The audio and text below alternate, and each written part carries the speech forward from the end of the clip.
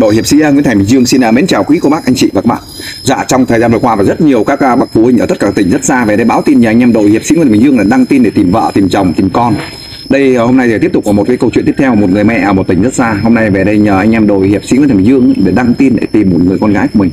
Dạ câu chuyện nhà kính mời cô chú anh chị bạn à, tiếp tục theo dõi hết video này nhé. Rồi xin phép xin chào chị.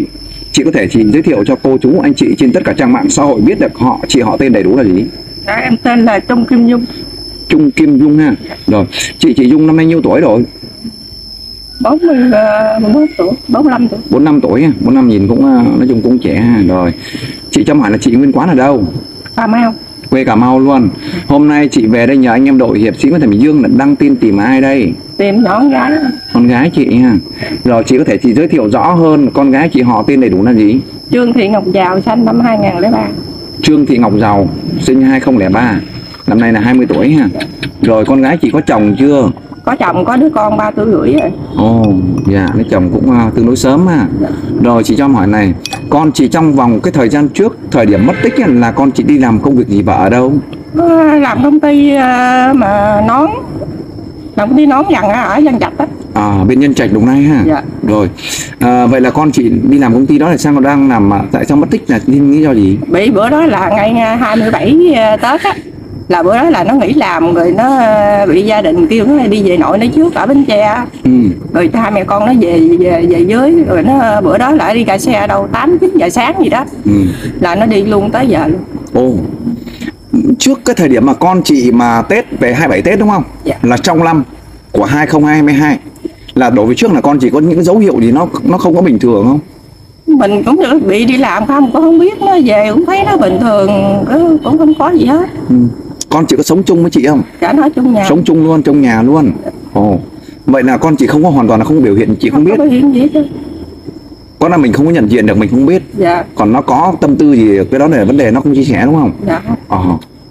Vậy là con chị đi làm là hàng tháng là có gửi tiền cho gia đình không? có bị với tỷ như là nó lãnh lương 10 triệu rưỡi phải không là nó đưa đằng này 9 triệu nó lấy chỉ có triệu rưỡi thôi Ồ, vậy là rất chứ nó không có lấy nhiều con gái và chị vậy là cũng được nhưng mà từ trước là con chị có chịu chơi không ăn chơi gì không? dù gì chơi bời là nó hồi đó giờ là không bao giờ có luôn Ừ. kiểu như là đi làm về rồi chủ nhật ờ, bạn bè rủ đi ăn vậy là vậy thôi à, chứ không có gì hết không có đi chơi gì. gọi là không có không có kiểu mà chơi bời mà xa đọa đúng không? dạ Ừ. Rồi từ hôm 27 Tết là con chị đi bằng phương tiện gì để về quê? đi xe đò À đi xe đò. Đi xe đò xuất phát từ đâu vậy chị? à, từ ngoài ngã ba dân trạch Ngã ba Nhân Trạch ở Đồng Nai đúng không? dạ. Là xuất phát là về từ Nhân Trạch mà để lên bến xe đò đúng không? Lên một chuyến chuyến xe để về quê là quê cụ thể là đâu? quê ở ờ, Bến Tre Bến Tre là từ Đồng Nai sang Bến Tre thì nó cũng đâu có xa lắm đâu. 4 tiếng ba tiếng mấy 4 tiếng Dạ. Vậy là chị đi con chị đi đến thời điểm nào để chị phát hiện là con chị đã mất tích? à, bị bữa đó đi em đi làm rồi cái bắt đầu ở đâu giác cũng đâu ờ, hai giờ gì á 2 giờ chiều ngày 27 đúng không? dạ, chồng nó điện chồng điện cho hay là nói nó đi nó nhắn tin lại với nhỏ cháu á là nó đi rồi thì cha mẹ là đừng có lo cho nó nó mặn nó lo cho con nó được Ừ. rồi đó là từ đó tới giờ luôn rồi Mất tích luôn. tích luôn rồi với bữa ờ, 11 âm á ngày âm á là nó có đưa nhỏ con nó về đưa nó đưa vô 11 phòng- âm ngày mấy chị? dạ, ngày âm á Là Làm ngày mấy? ngày ờ, 11 âm Tháng mấy? tháng mình nó là tháng Tháng tháng tháng Tây là mấy? tây là tháng 1 Tháng Tây 1. 10 10 19 uh, tây đó nó Rồi cho em hỏi thế này, 27 Tết bắt đầu lên một chuyến xe đò để về quê ở ừ, Bến Tre Bến Tre và đến ngày bao nhiêu thì bé xuất hiện lại? à, kiểu như là không có gặp nó nó đưa con nó ở dưới trường á bị con nhỏ bé bé nhỏ là gửi học ở dưới trường nó đưa xuống trường á Ừ. rồi nó mới điện nhỏ cháu á là kêu á là cha xuống rước con heo em gửi ở dưới trường Ừ. rồi vậy là thôi không có Là mất tích luôn. mất tích luôn thế Là là cái không cuộc đó là cuộc cuối cùng. Dạ. Đó là gọi điện đúng không? Dạ, rồi. Con chị trước khi đi thế này là về quê một chuyến hành trình về quê là đem theo những cái gì đi chị? thì ờ, trong cái thẻ em là 30 triệu Ừ. với là vàng một cây mấy vàng Một cây mấy vàng. Con chị đeo à? không có đeo nó cắt trong cặp nó rồi đi nó thấy Cái vàng đó là vàng vàng dây chuyền hay là vàng nhẫn hay vàng gì? dây chuyền lắc vòng gì cũng có nhẫn cũng có Ồ, quá trong đó hết. Trong đó hết Cái vàng đó là vàng của chị hay của con chị? của của của em rồi của con em luôn là của hai mẹ luôn. con. dạ, của cháu luôn Ờ, trong của đó là có chiếc nhẫn của ông chồng Ồ, vậy là của gia đình luôn. của nguyên gia đình bỏ trong đó đó. Trời ơi. trong cái cái bóp sọc sọc trong một chiếc bóp vậy là con chị lên một chuyến xe đó à, hiện nay thì không biết thông tin gì nữa mà mất tích luôn à, vậy là trong tài khoản thẻ à, là đang có mấy chục triệu ba chục triệu là tiền của chị với của con chị đúng không? Hay là của của ai? Tiền của em đi làm trong thẻ mà, mà còn tiền của nó thì kiểu như hàng tháng nó rút tiền á mặn được mấy tháng thì đó là thủ trong thẻ đó. Ừ. rồi là nó đi đó là tết nó đi là lấy hết trơn. Vậy là con chị có đem theo quần áo hành lý gì Đó, không bị đi về à, bến tre mà về ông nội nó chơi à, tết đó À. đem theo một một một gọi là về nghỉ tết luôn đúng về không nghỉ tết luôn. Thăm gia đình luôn. Dạ và trên một chuyến xe đó này con chị đem cũng tương đối rất nhiều tài sản. À, ba bốn chục triệu tiền mặt và hơn một cây vàng. À, mà cây vàng đó hơn cây vàng đó là hoàn toàn là không đeo trên người đúng không? Đúng rồi. Bỏ trong bóp. Dạ. Chị đang nghi ngờ chuyện gì xảy ra đến với con chị mà bây giờ em muốn là các anh tìm con em về thôi chứ giờ vụ tiền bạc với vàng dòng thì em cũng không có ờ, mong muốn nó còn gì hết. Giờ muốn nó về với con nó với gia đình thôi. Nói chung là bây giờ đến giờ phút này chị không hy vọng nhiều về số tài sản còn lại nữa. Chỉ là mong con cho mẹ nó được. Yeah. cho em hỏi thế này hiện nay là con chị với chồng chị còn sống với nhau có à với chồng với chồng là con rể còn sống với nhau không thằng chồng thì kiểu như là hai chồng nó ly thân thằng chồng nó đi về bên bà già nó ở rồi rồi từ ngày nó đi tới giờ bây giờ nó về mướn gần phòng ở gần chỗ thằng này ở à gần chỗ mẹ vợ đúng không? Dạ. vậy là chính con trẻ chị báo tin cho chị? Phải không ạ? Kiểu như là nó nó đi à, thằng chồng nó không hay nữa. Rồi đằng này điện mới cho nó hay. À. Rồi thằng chồng nó bây giờ nó về nó ở mướn phòng nó ở gần đó. Bây giờ con à, là cháu ngoại chị hiện nay ai nuôi? Về thằng này nuôi. Chị nuôi ha. Rồi. con chị đi à, 27 tết đến giờ phút này là cũng à, hơn 3 tháng 4 tháng rồi. Bị ngày âm là 27 ngày mới 3 tháng. Ừ. trong vòng những tháng qua là hoàn toàn chị không có một tiết thông tin nào manh mối nào luôn. Không. Chị có nghi ngờ là con chị bị ai dụ hoặc là bị bạn trai dụ hay lừa không em nghĩ là nghĩ à, bạn trai nó lừa nó thôi ừ. chứ không có gì đó chị đang nghĩ nghi ngờ là có một người đàn ông khác coi là một bạn trai của con gái chị lừa con chị dạ.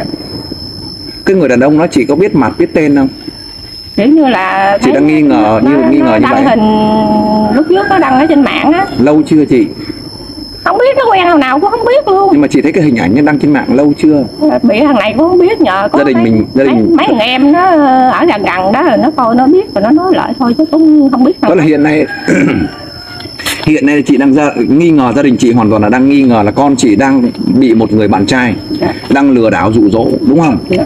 Ờ. vì vậy cho nên thấy một tấm hình ở trên mạng mà không nhớ là đăng ngày nào thôi Dạ. nhưng lại là, là có đăng một tấm hình với một người thanh niên khác dạ. thanh niên đó quê ở đâu chị quê ở ờ, sóc trăng. Quê sóc trăng. Người ta tên là gì chị biết không? Nghe nói nó tên chị chị vậy thôi. Tên chị chị gì đó còn à, tên thật tên giả mình chưa biết ha. Dạ. Rồi anh em đội hiệp sĩ Bình Dương sẽ cố gắng hết sức để xác minh tìm hiểu thông tin người đàn ông đó xem có đúng chính xác người đó dạ. dụ dỗ hoặc đưa con chị đi hay không. Dạ. Đến giờ phút này chị đã trình báo cơ quan công an là con gái bị mất tích theo một số tài sản rất lớn không? Không hồi đó giờ hôm nay không có. Chưa báo công an Chưa. Mình à, bị ờ, cũng gia đình cũng kêu báo mà hô người ta nói là đi công an nhờ công an tiền dữ lắm. Có tiền đi được còn này không. Mình cứ đi đi không sao đâu nha. Mình cứ đến là trình báo vụ việc của mình làm đơn trình báo là con gái à, à, sinh ngày tháng năm sinh à, mất tích à, thời điểm nào và bỏ mất tích thì tại sao mất tích thì có bao nhiêu tài sản bên trong. À, nghi ngờ là ai đó ai đó dụ dỗ lừa đảo thì mình cứ nghi ngờ thì mình cứ nói trình bày như vậy để hy vọng là mọi người à, để công an người ta cũng có hướng nhá để xác minh. À, nếu các cô chú anh chị nếu ai phát hiện một bé gái con gái của chị đang sinh sống ở đâu và đặc biệt là sinh nếu như thực sự mà đang sống với một người đàn ông đó thì liên hệ cho anh em đội hiệp sĩ Nguyễn Thành Dương theo số điện thoại 0913 785858 bởi vì tất cả trường hợp này là anh em đội hiệp sĩ Nguyễn Thành Dương là chưa dám khẳng định là con chị bị lừa hay bị bắt hay bị nhốt hay bị yêu. Dạ. nhưng theo hướng anh em đây là đa số một số Ờ, các bé gái đặc biệt là tuổi đời rất nhỏ như này là đến trên 90% rồi. Là bị một số thanh niên là bị người yêu à, quen biết hoặc bạn trai khác giới yêu lừa và đặt. Xác định nhà lừa xong là bán luôn lấy tài sản là bán các thiếu nữ này. Thậm chí bán chính con gái chị vào các trung tâm massage karaoke là cái điều đó xảy ra rất thường xuyên hiện nay rồi. Bởi vì đa số là bây giờ một số thanh niên là ở nhà chỉ ngồi căn thôi search trên mạng để tìm à, làm quen à, những cái thiếu nữ rất xinh đẹp như thế này. Mục đích chính là để xem có sơ hở gì nó để lừa đảo thôi chứ không có yêu đương gì hết. Nếu thực sự mà một thanh niên ấy đang yêu con chị thì cái điều chắc chắn là phải thông báo với con chị hoặc thông báo báo với gia đình đúng không ạ? Nhưng đây hoàn toàn là mất thông tin. À, hàng mấy tháng qua thì đó là một điều rất bí ẩn. À, thì anh em sẽ nhận định đây là không phải một cái tình yêu thật. Chị có nghĩ rằng điều đó không. Dạ. chị có muốn chia sẻ muốn nói chuyện gì đó cho con chị trong những tháng qua bởi vì hiện nay thì gia đình mình chắc chắn là sẽ ấp ủ rất nhiều cái tình thương và cái tình cảm mà trong những tháng qua để dành cho con. Rồi mời chị. Dạ muốn ờ, con á, nó thấy được cái cảnh này nó điện về cho mẹ cha nó hay